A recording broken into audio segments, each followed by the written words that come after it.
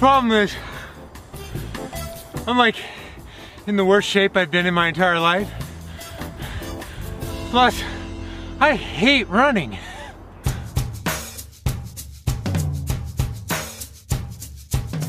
This is Casey Neistat, but you probably already knew that. Casey works harder, makes more things, and is better at telling a story than anyone else I know. But on top of his crazy schedule, he runs a lot. Casey just announced today that he's going back to uploading daily on his channel, which is awesome because I love watching his videos. Over the past few years, I've watched every single video he's put out, which means I've watched him put on his shoes and go on a run hundreds of times. If it's a new day, Casey's probably going on a run. Me, on the other hand, I'm the epitome of a wannabe runner.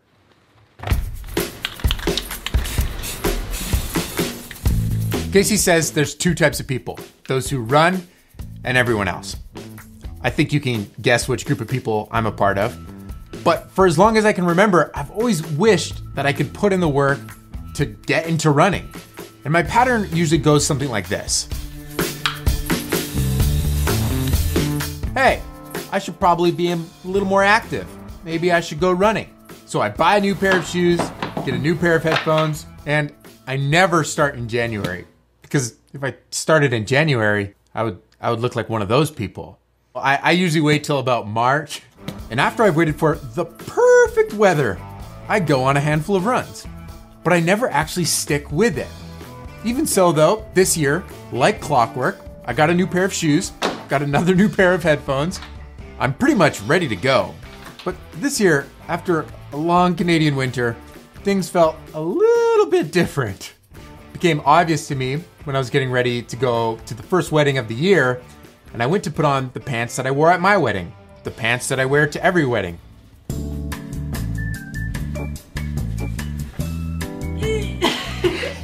They look tight, but it's not like we're like trying to. You're not gonna be on oh. YouTube without pants on. So, as you can see, there was a little bit of added urgency this time around when I put on my shoes to go out for that annual first run.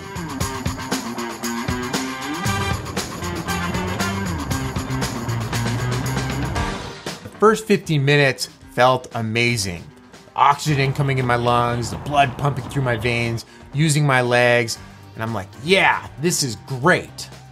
A little further in though, and my lungs started to hurt, and my, my knees started to hurt, and suddenly everything was hurting, and I just needed to take a break.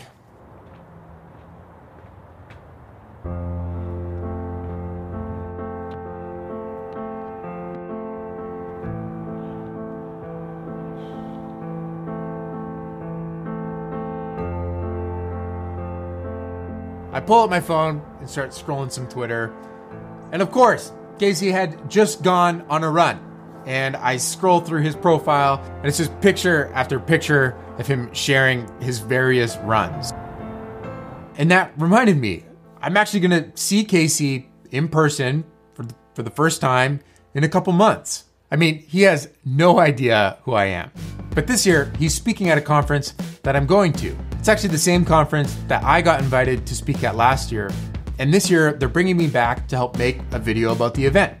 And so that means at some point while I'm there, I'm probably gonna run into Casey. And of course, I'm excited to meet the guy. I'm a big fan. Uh, hey Casey, uh, great to oh yeah, great to meet you. Uh, so great videos, by the way. Uh, I I watch all of them. Uh, you're an inspiration. Uh, I've I've got a YouTube channel. Um, uh,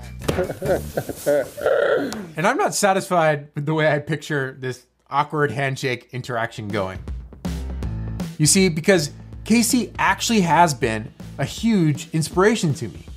Finding his videos on YouTube was like a breath of fresh air. At a time that I was so distracted with gear and the technicalities of filmmaking and filled with excuses, I'd forgotten to pursue actually telling a story.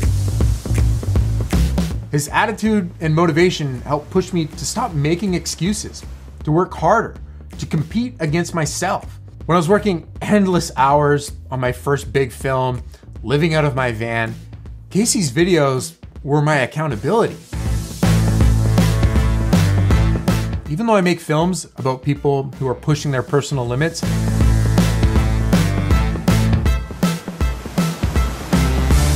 the only limits I've been pushing lately are how long I can sit behind my computer. Or my personal favorite, how many YouTube videos can I watch in a row? Maybe we could set a new record, like how many days I could procrastinate between runs. A year. That was that was my last record. A year in between going on runs. How can I prove to Casey when I meet him for the first time that he actually is an inspiration to me? How about instead of trying to tell him, I show him? How about I actually start to push my personal limits again? What if I actually put in the work to get in shape, stop being lazy, and finally become a runner? So, like any good challenge, what's actually going to keep me motivated? What goal am I shooting for here? It's actually pretty simple. At the conference in a few months' time, there is the slightest possible fraction of a little chance that when Casey's there, he might send me a tweet and invite me to go on a run. And I want to be in good enough shape so if that time comes, I can actually say yes.